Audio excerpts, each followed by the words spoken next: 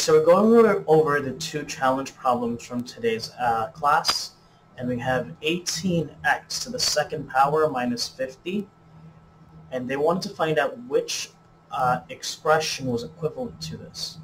So you have four choices, um, but we're going to go and we're going to start factoring this.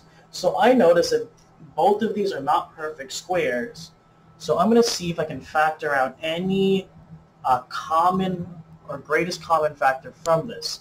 And if I look at 18 and negative 50, the greatest common factor they both have in common, or their GCF, is 2. So I'm going to factor out a 2 from each of this. So if I divide both of these terms by 2, we're going to factor out that 2, and we're going to have 9x squared minus 25. Okay, so now here we have a difference of two squares. We have uh, 9x squared minus 25. So we can now do, if we factor this, we can have 3x plus 5, because 3x times 3x is 9x squared, and then 5 times 5 is 25, but one has to be positive, and one would have to be negative. So 3x plus 5, 3x minus 5, and don't forget that 2 we factored out earlier. So this here is the fully factored form for 18x squared minus 50. So we also had challenge question number 2, which I'll scroll down over here. We'll do that one. So challenge question number 2 said, what are the zeros of the function? So what are the zeros of the function 16x squared minus 64.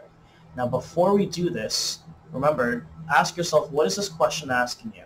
So they're asking us, what are the zeros? Now zeros have a few names uh, that it's also referred to as. So we could have said, so we've said zeros before.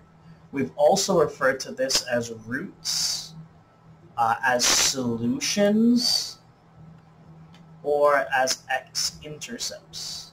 These all mean the same thing. So if you ever see this in a question, they're asking you for the same thing. So another way to think of if they're asking you what the zeros are uh, we want to find out what the value of x is. What's the solution of x when the whole function is equal to 0? So um, what we're going to do is we're going to see, we're going to look at these, and I notice that we have 16x squared, and we have negative 64. So 16x squared and 64 are both perfect squares, so we can factor this using the difference of two squares.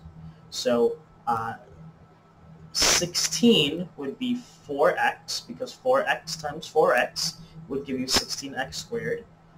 So we know that the first term for both of these is 4x. And then 64. So one has to be positive because it is the difference, we are subtracting, and one has to be negative. And the square root of 64 is 8. So we have 4x plus 8, 4x minus 8. But we're not done yet. We just factored it. We want to find the zeros. So it's equal to 0. And now we have the zero product property. We can set both of these equations, or uh, both of these uh, binomials equals to 0. 4x plus 8, 4x minus 8 equals 0. And then we're just going to solve for x. So subtract 8 to both sides over here. 4x is equal to negative 8. Divide by 4. Divide by 4. have to scroll down a little bit. Okay. And x is equal to negative 2. But that's just one of them. We have to also do this over here. So add 8 to both sides.